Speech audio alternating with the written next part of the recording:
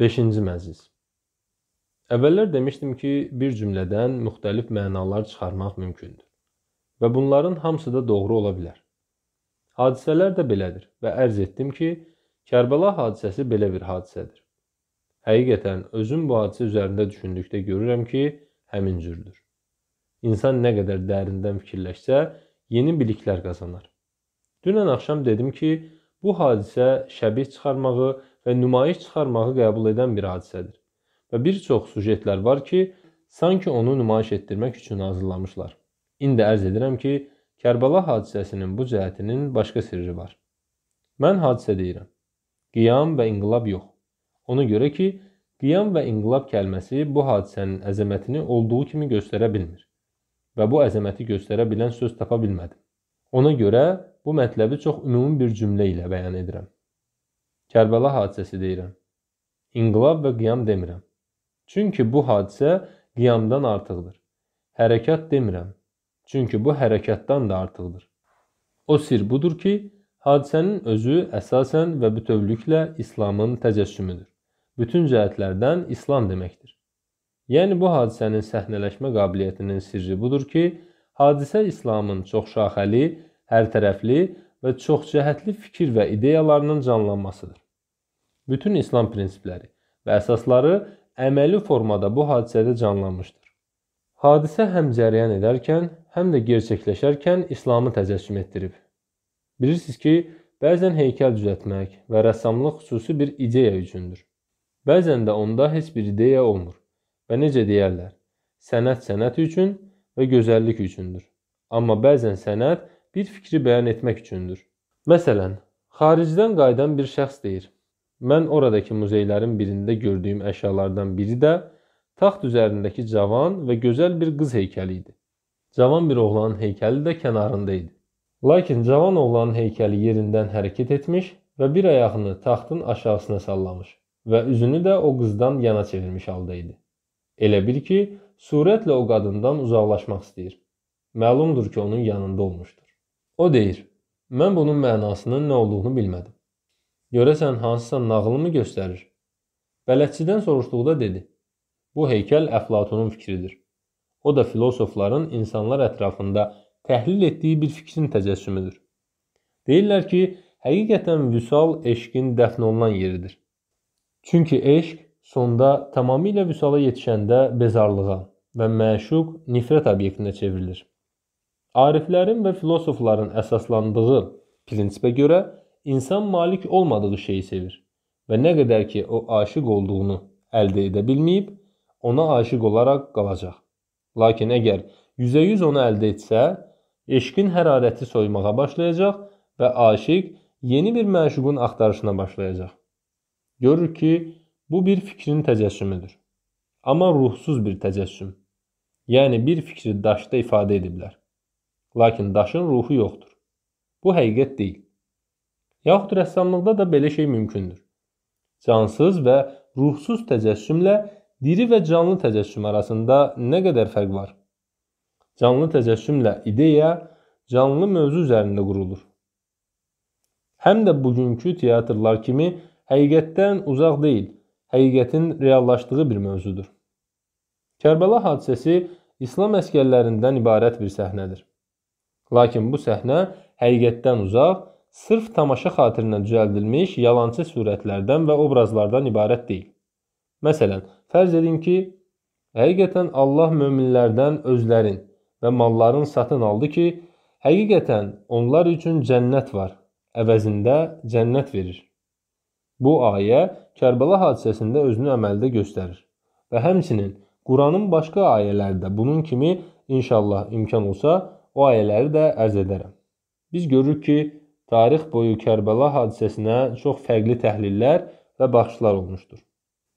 Əvvəllər işarə etmişəm ki, İmam Rızanın zamanında yaşayan şairlərdən Debel Xuzayinin təhlili və baxışı, İmam Sadiq və İmam Baqırın vaxtında yaşayan şairlərdən Kumeyd Əsədinin təhlili və baxışı, Möhtəşəm Karşaninin, Samaninin və ya Səfi Əli Şahın təhlili və baxışından fərqlidir. Onlar bir cür təhlil edir. Möhtəşəm bir cür təhlil edirdi. Samani başqa cür təhlil edir. Səfi Əli Şahın başqa cür və İqbal Lahurinin də başqa cür təhlili və baxışı var. Niyə belədir? Mənim nəzərimcə bunların hamısı doğru təhlillərdir. Lakin naqisdir, doğrudur. Lakin kamil deyil. Düzgündür. Yəni səhv və yalan deyil. Lakin onun bir tərəfidir. Fil dastanında olduğu kimi. Rumi nəql edir ki, bir dəstə cəmaat gecə qaranlığında filə toxunub onun nə olmasını müəyyən etmək istəyirdi. Filin arxasına əl vuran bir cür hökm verdi, filin qulağına əl vuran başqa cür hökm verdi. Bu hökmlər həm doğru idi, həm də səhv və o baxımdan səhv idi ki, fil bütünlükdə onların dedikləri deyildi. Amma o baxımdan doğrudur ki, əlləri filə toxunmuşdu. Əli filin qulağına deyən dedi ki, yelpic verən şəkildədir. Doğru da demişdir. Onun əlini vurduğu yer yelpic şəklindədir. Lakin filin özü yelpic şəkildə olmayıb. Filin xortumuna əl dəyən dedi.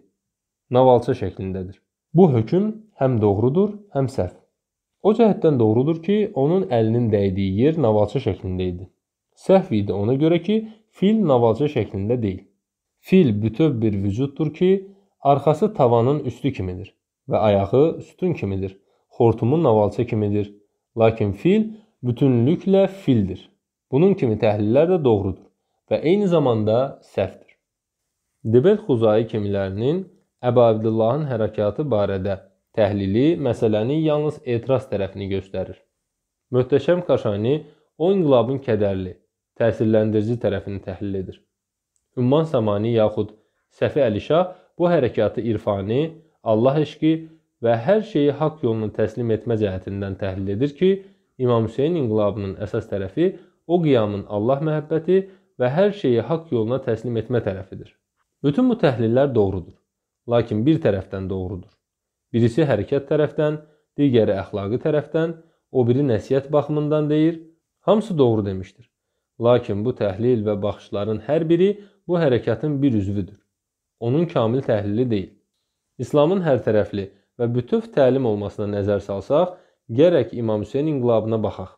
Görürük ki, İmam Hüseyn Kərbəlada İslamı bütövlüklə əməl mərhələsinə gətirmişdir və onu diri və ruhlu, həqiqi təcəssüm etmişdir. Burada ruhsuz təcəssüm yoxdur. İnsan Kərbəla hadisəsinə diqqət etdiyi zaman elə işlər görür ki, heyrətə gəlir və deyir, bunlar təsadüfi ola bilməz. Görürük ki, İmamlar bu hadisəni yaşatmaq üçün nə qədər təkidlə tövsiyələr etmişlər və Kərbəla hadisəsinin yaddan çıxmasına imkan vermirdilər. Çünki bu hadisə canlı İslamdır. Qoymayın bu canlı İslam yaddan çıxa. Biz Kərbəla hadisəsində qəribə bir məsələ ilə rastlaşırıq. O da budur ki, bu hadisədə kişinin də, qadının da rolu var. Qocanın, cavanın və uşağın da rolu var. Ağın və qaranın rolu var. Ərəbin və qeyri-ərəbin rolu var. Müxtəlif təbəqələrin rolu var. Sanki əsasən bu ilahi bir qəza və qədər imiş ki, bu hadisədə müxtəlif təbəqələr və müxtəlif rollar ifadə olunsun. Yəni İslam nümayiş etdirilsin. Ərz etdiyim qadınların rolu təkcə Həzrəti Zeynəbə xas deyil. Bu zəmində müxtəlif dastanlar vardır. Kərbəlada bizim bir qadın şəhidimiz var və o da Abdullah ibn Umeyr Kəlbinin arvadıdır. Rəsmi şəkildə döyüş meydanına girən iki başqa qadın vardır. Lakin İmam Hüseyn onlara döyüşməyi qadağan etdi və qayıtmağı əmr etdi və onlar qayıtdılar. Analar övladlarının şəhid olmağına baxırdılar. Onu Allah yolunda hesab edirdilər və həmçinin biz Kərbəlada 15 nəfər şəxs görürük. Xüsusilə onlardan biri Mövla adı ilə çağırılırdı. Mövla Şüzəh Abis ibn Ubeyd. Mərhum Hacı Nuri və mərhum Hacı Şeyx Abbas Qumi kimi böyük alimlər bunu təsdiqləmişlər. Səhv anlaşılmasın. Mövla abis dedikdə məqsəd abisin qulu və ya azad etdiyi deyil. Xeyr. Mənası budur ki, abislə əhd-peyman bağlayan olmuşdur. Demişlər ki, ictimai nüfuz baxımından abisdən daha əzəmətliymiş. Mövla kəlməsinin ərəb dilində bir neçə mənası var. Bəzən azad olmuş mənasında işlənir və çox vaxt bir şəxslə yaxud bir tayfa ilə vilayət müqaviləsi bağlanmış şəxs mənasını verir. Yəni əhd və peyman bağlanmışdır. Əgər filan kəs müvalidir, yəni müttəfiq olan kəslərdəndir. Mövla qul demək deyil. Bu axşam mən Kərbəla hadisəsindən bir neçə cəhəti bacardığım qədər sizin üçün ərz edəcəyəm. Bəlkə də İmam Hüseynin əvvəlinci xutbələrində, yəni Məkkədə dediyi bir xutbənin iki cümləsi o Həzrətin hərəkatının tövhid, irfan, hər işi Allaha təslim etmək və Allahdan başqa heç nəyi təsəvvür etməmək dəyərlərinə söykəndiyini təsdiq etmək üçün kifayət edir. O Həzrətin sözü belə idi. Biz Əhl-i Beytin özümüzün bəyəndiyimiz heç nə yoxdur. Allah bizim üçün bəyəndiyini biz özümüz üçün bəyənirik. Allah bizim üçün hansı yolu təyin etsə, biz həmin yolu bəyənirik. İmam Baqir Cabirə baş çəkməyə gedir və onun halını soruşur. İmam Baqir cavandır, Cabir isə peyğəmbərin səhabələrindən biri və qoca kişi idi. Cabir ərz edir: Ey peyğəmbər övladı, mən bir haldayam ki, kasıblığı varlı olmaqdan, xəstəliyi sağlamlıqdan və ölümü yaşamaqdan üstün bilirəm. İmam buyurdu: Biz əhli beyt belə deyilik. Biz özümüzdən bir iş bəyənmirik. Allah məsləhət bildiyi iş bizim üçün yaxşıdır. Əbu Abdullahın axırıncı cümlələrində bu anlamların əksini görürük. Mərhum ayətinin sözü ilə Bu döyüş bir oxla başlamış və bir oxla da bitmişdir. Aşura günü birinci oxu atan Ömər Səd olmuşdur və sonra demişdir. Əmirə xəbər verin ki, İmam Hüseyin tərəfə birinci oxu atan mən olmuşam. Sonra döyüş başlamışdır. İmam Hüseyin öz səhabələrinə döyüşü ilk olaraq başlamağı qadağan etmişdi. Bir başqa oxla da döyüş sona çatmışdır. Əbu Abdullah atın belində çox yorğun və yaralı idi və taqətinin təqribən sonları idi. Bir ox gəlib Həzrətin sinəsinə batdı. Əbu Abdullah atından yerə yıxıldı və həmin halda buyurdu. Sənin hökmünə razı və əmrinə təsliməm. Səndən başqa ibadət olunan yoxdur. Ey kömək diləyənlərə kömək edən. İmam Sadiq buyurub: Əl-Fəcr surəsini öz vacib və müstəhəb namazlarınızda oxuyun ki, babam Hüseyn ibn Əlinin surəsidir. Dedilər: Nəyə görə sənin babanın surəsidir? buyurdu. O surənin axırıncı ayəsinin timsalı və nümunəsi Hüseyndir. Orada buyurulur: Ey xatircəm olan nəfs, razı edilmiş və razı olmuş halda Rəbbinə tərəf qayıt. Bəndələrimin yanına daxil ol və cənnətimə daxil ol. Siz görün İmam Hüseyn Aşura gecəsi hansı halda idi? Əbu Abdullah bu gecəni niyə özünə saxladı? Bağışlanmaq üçün, dua üçün, münazat üçün və Allahla razuniyaz üçün. Aşura günü qılınan namaza baxın ki, tövhid, bəndəlik və rububiyyət cəhətlərində məsələ zirvə nöqtəsinə çatmışdır. Dəfələrlə demişəm ki, səhabələrdən bəziləri və bütün əhl-i beyt, Əbu Abdullahın özü Aşura gününün ikinci yarısı şəhid olmuşlar. Əbu Saidə adlı bir kişi İmam Hüseynin yanına gəlir və deyir: "Ey peyğəmbər övladı, namaz vaxtıdır. Bizim arzumuz budur ki, sizinlə birgə axırıncı cəmaət namazı qılaq. Görün necə bir namaz olub.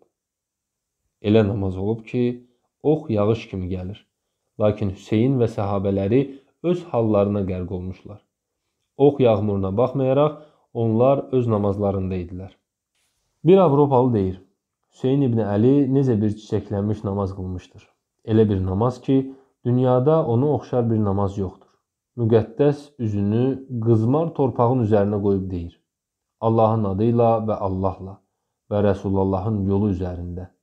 Bundan sonra baxıb görürük, Hüseyn hərəkatı irfani və Allaha pak imanı olan bir hərəkatdır. Yalnız və yalnız Hüseyn və Allahıdır. Elə bir başqa bir şey yoxdur. Amma başqa bir cəhətdən baxsaq, davakar bir kişi görərik ki, zülmkar bir dövlət rəhbərinə qarşı qiyam etmiş və heç cür onu təslim etmək mümkün olmamışdır. Elə bil ağzından od yağırdı tamamilə izzət, şərafət və azadlıqdan bəhs edirdi. Mən özümü sizə zəlil halında təslim etmərəm və qullar kimi də fərar etmərəm. Çünki bu mümkün deyil. Yəni üsyan, imtina və təslim olmamaq deməkdir. Ərəblər zülmün yükü altına girməyə hazır olmayan şəxslərə ibad deyirlər. Yəni heç vaxt zülmün yükü altına getməyənlər. İbn Əbil Hədid sünni alimidir. Deyir: Hüseyn ibn Əli, yəni zülm altına girməyənlərin ağasıdır. Zülmün yükü altına girməyənlərin böyüyü İmam Hüseyndir. Bu baxımdan baxdıqda tamamilə qəhrəmanlıq, mübarizlik və etiraz görürük. Başqa baxımdan bir məqamda xeyirxah vaiz, nəsihət verən kimi görürük. Hətta öz düşmənlərinin nəhs, aqibətindən də narahatdır ki, bunlar niyə gərək cəhənnəmə getsinlər? Niyə bu qədər bədbəxtdirlər? Burada dastanda olan hərəkət öz yerini sükunət və nəsihətə verir. Görün, həmin Aşura günü və qeyri-Aşura günü cəmaata hansı nəsihətlər vermişdir? İmamın sahabələri nə qədər nəsihət vermişlər? Hənzələ ibn Əsədi Şəbabi nə qədər nəsihətlər vermişdir? Züheyr ibn Qeys hansı nəsihətlər vermişdir? Həbib ibn Məzahir hansı nəsihətlər etmişdir? Əbu Abdullah onların bədbəxtçiliyindən təsirlənirdi. İstəmirdi, hətta bir nəfər belə o halda olsun. Cəmaata qarşı inad etmirdi. Əksinə, hansı dillə olur olsun, istəyirdi onlardan bir nəfər də azalmasın. O babasının bir nümunəsi idi. Şübhəsiz ki, sizin üçün öz içinizdən bir peyğəmbər gəldi ki, sizin məşəqqətə düşməyiniz onun üçün ağırdır. Sizin hidayətiniz üçün çox meyillidir. Möminlərə şəfqətli və mehribandır. Bilirsinizmi mənası nədir? Yəni sizin bədbəxtçiliyiniz ona ağırdır. Peyğəmbərin düşmənlərinin bədbəxtliyi peyğəmbər üçün ağır olub. Onlar özləri də bilmirdilər ki, bu bədbəxtçiliklər Əbu Abdullah üçün ağır idi. O dəvəyə minib gedir, yenə qayıdırdı. Peyğəmbərin əmmaməsini başına qoyurdu və peyğəmbərin libasını geyinib ata minir və onlara tərəf gedirdi ki, bəlkə onların birini bədbəxtçilikdən xilas etsin. Buradan görürük ki, Hüseyn bütöv bir məhəbbətdir, dostluqdur və hətta öz düşmənlərini belə sevirdi. Əxlaq deyəndə bir mövzunun sorağına gələk. İslam əxlaqı. Bu baxımdan Kərbəla hadisəsinə nəzər saldıqda görürük ki, İslam əxlaqını nümayiş etdirən bir səhnədir. Bu hadisədə olan üç əxlaqi dəyər haqqında müxtəsər şəkildə danışacaq ki, onlar mürüvvət, fədakarlıq və vəfadır. Mürüvvətin xüsusi bir anlamı vardır və bu şücaət deyildir. Deyirlər ki, onun mənası mərdanəlikdir. Lakin xüsusi bir anlamı var. Rumi hamıdan yaxşı onu təzəssüm etmişdir. Əli ilə Əmr ibn Əbduvudun mübarizə dastanını nəql edir. Əli Əmrin sinəsi üstündə əyləşmişdi. O əlinin üzünə tüpürür və Həzrət onun sinəsi üstündən durub biraz hərəkət etdikdən sonra yenə gəlir. Və belə yerdə Rumi o Həzrəti tərifləməyə başlayır. Və Əliyə dair olan şeirlərindən biri də belədir. Şücaətdə sən Allahın şirisən. Mürüvvətdə heç kəs səni vəsf edə bilməz ki, sən nə qədər alicənabsan. Mürüvvət budur ki, insan öz düşməninə belə məhəbbət göstərsin. Hafiz deyir: İki dünya rahatlığı bu iki sözün təfsiri ilə açıqlanır.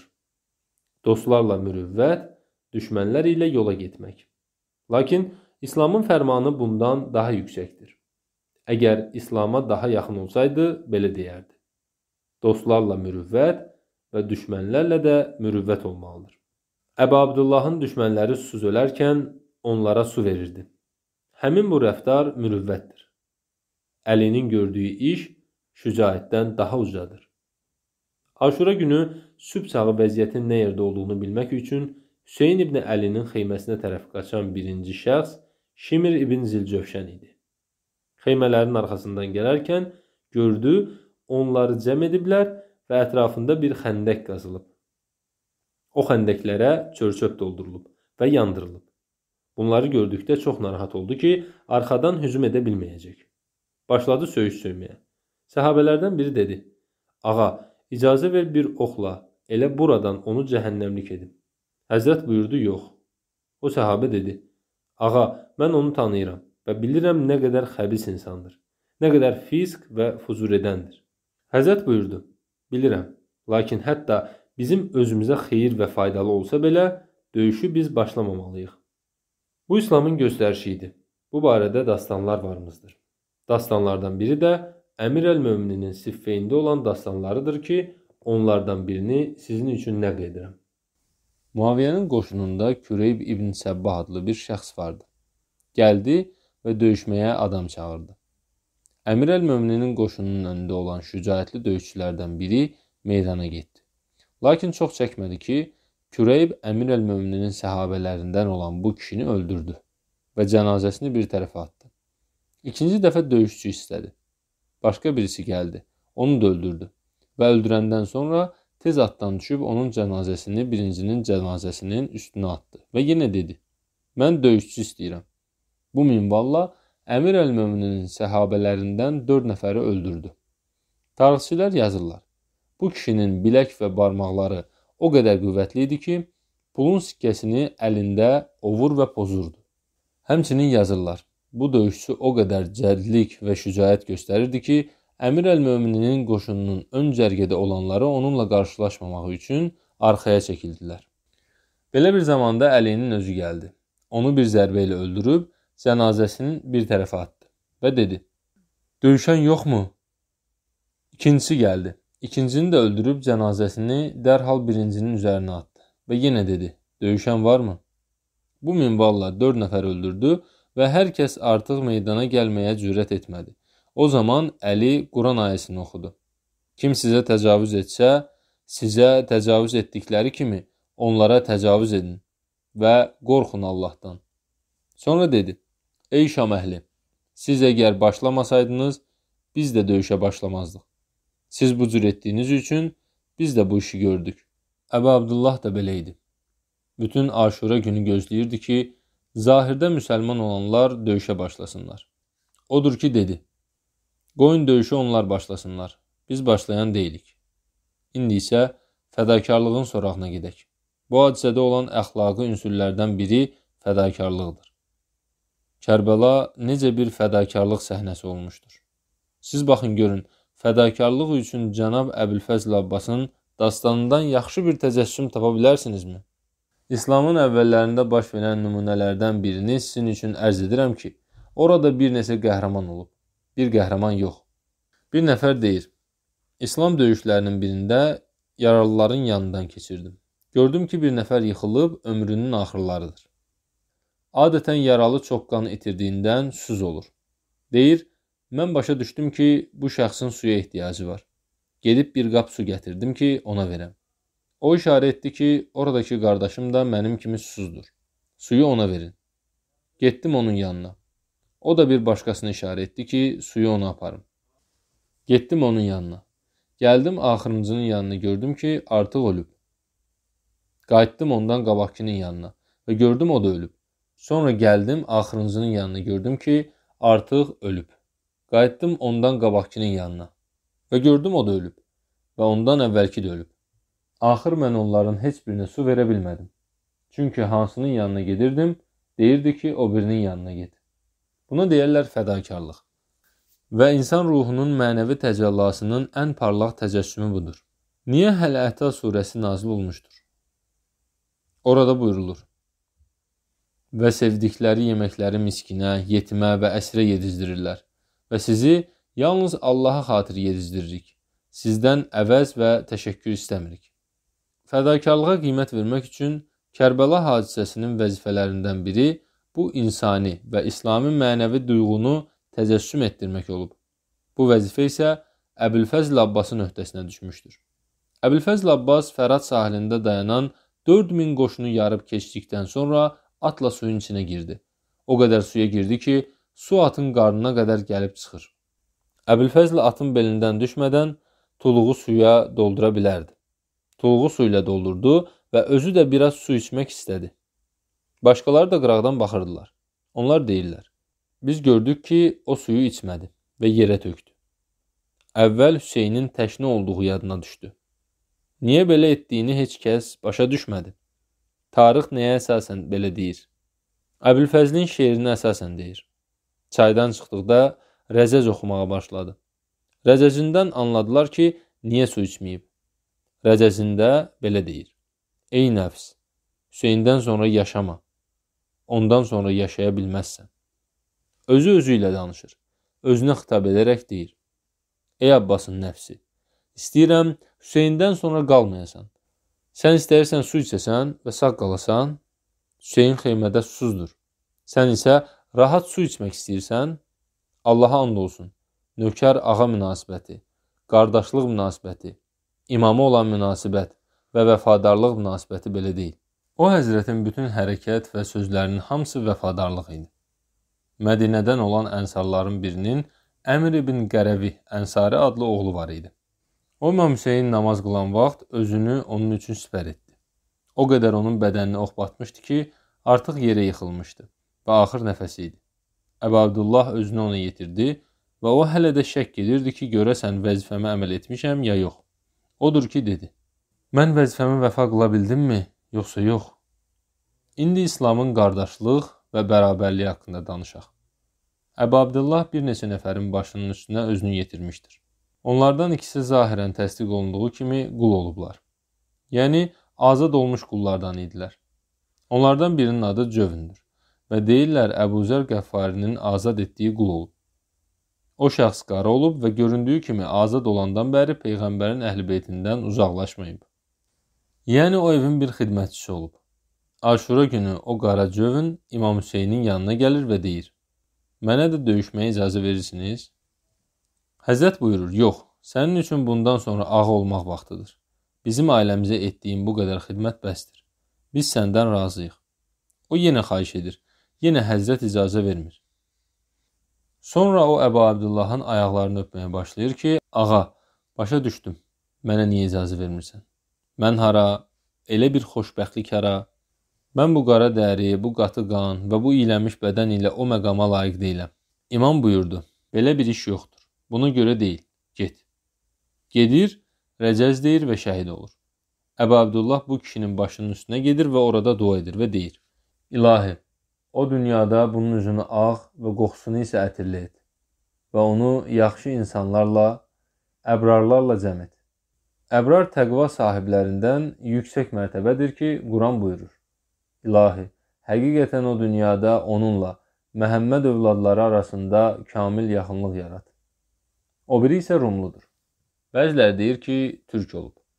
Atın üstündən yıxılanda Əbu Abdullah özünü onun yanına yetirir. Artıq burada qeyri-adi bir mənzərə var.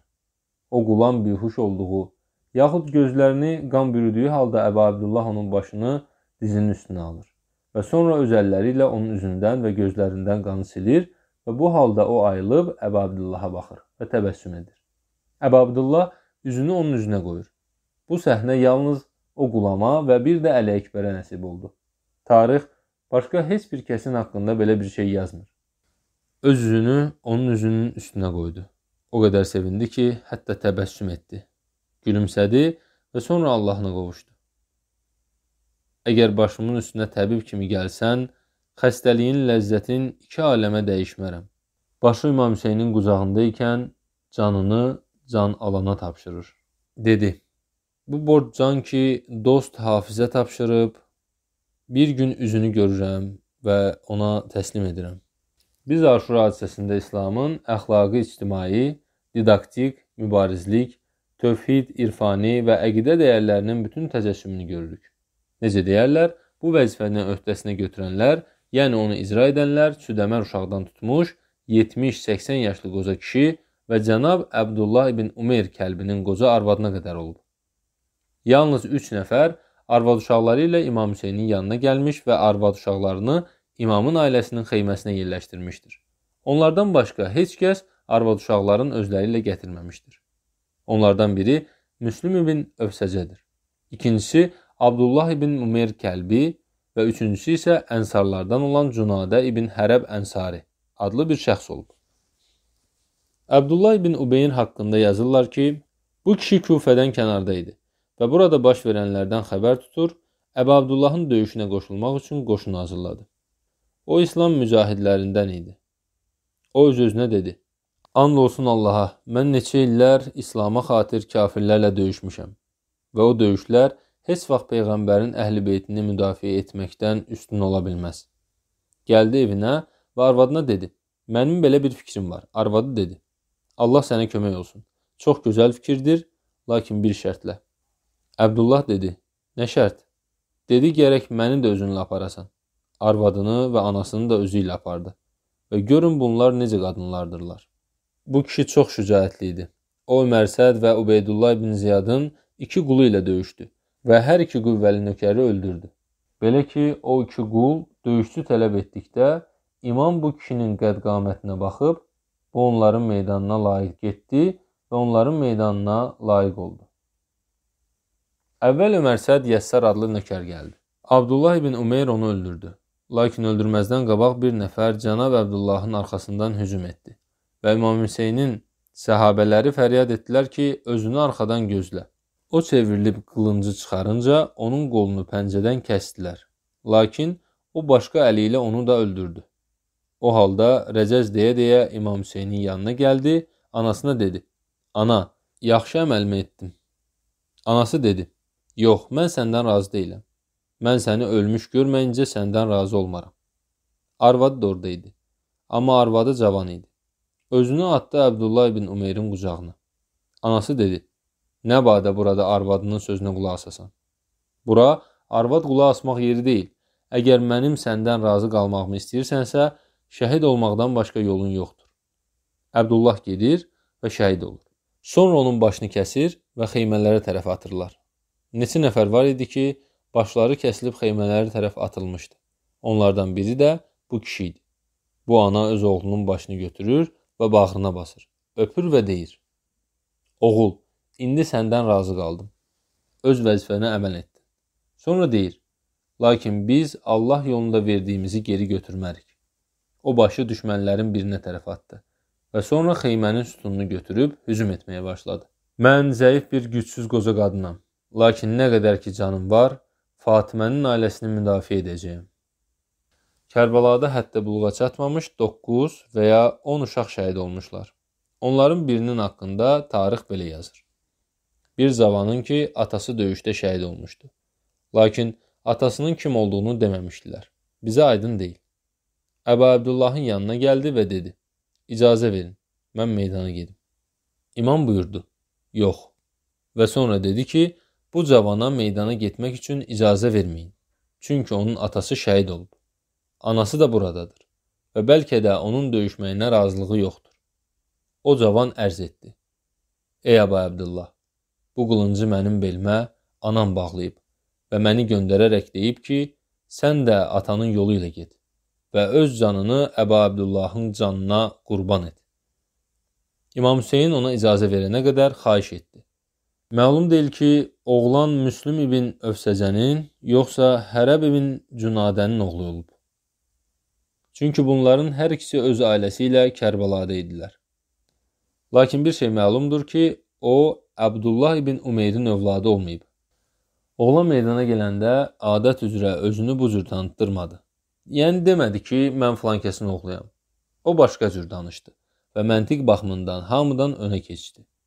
Meydanın ortasına çatdı və dedi: "Ey cəmaət, əgər məni tanımaq istəyirsinizsə, mən peyğəmbərin qəlbinin sevinci olan Hüseyn ibn Əlinin nökəriyəm. Görün, uşaq, böyük, südəmər, Onların hər birinin bu hadisədə bir məqamı vardır. Qəribə bir məqam.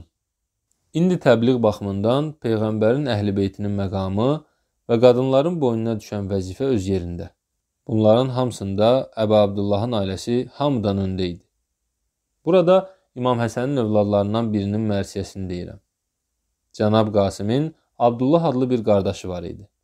İmam Həsən İmam Hüseyndən 10 il qabaq şəhid olmuş. Zəhərlənib dünyadan köçmüşdü. Bu uşağın da yaşını 10 yaş yazırlar. Yəni atası dünyadan köçdükdən sonra o təzə dünyaya gəlmişdi. Hər halda atasından yadında bir şey qalmamışdı və Əbu Abdullahın evində böyümüşdü. İmam Hüseyn onun üçün həm əmi, həm də ata idi. İmam Hüseyn onu bibisinə, bacısı Zeynəbə tapşırmışdı ki, ondan xüsusi müğayət olsun. Bu oğlan da elə hey can atırdı ki, özünü meydanın ortasına yetirsin. Lakin ona mane olurdular. Bilmirəm. Axırıncı ləhzələrdə Əbu Abdullah qətligahın xəndəyinə yıxılanda necə oldu ki, birdən bu 10 yaşlı uşaq xeymədən çıxdı və Zeynəb onun arxasınca qaçdı ki, onu tutsun. O uşaq özünü Zeynəbin əlindən qurtardı və dedi: "And olsun Allaha ki, mən əmimdən ayrılmaram." və tez özünü İmam Hüseynə çatdırdı.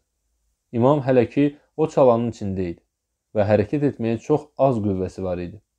Bu uşaq gəldi və özünü İmam Hüseynin qucağına atdı və imam onu qucağına aldı. Başladı əmisi ilə söhbət etməyə. O halda düşmənlərdən biri İmam Hüseynə zərbə yetirməyə gəldi. Bu uşaq gördü ki, bir nəfər İmam Hüseyni öldürməyə gəlib. Başladı ona acı sözlər deməyə. Ey zinakar oğlu, gəlmisən mənim əmmimi öldürəsən? Allaha and olsun ki, mən qoymaram. O qılıncını qaldıranda uşaq öz əlini qalxan kimi qabağa verdi. Nəticədə qılınc onun qolunu kəsdi və onun qolu dərisindən asılı qaldı. Bu zaman fəryad etdi. Ey əmi, əmican, gördünmü mənə nə etdilər?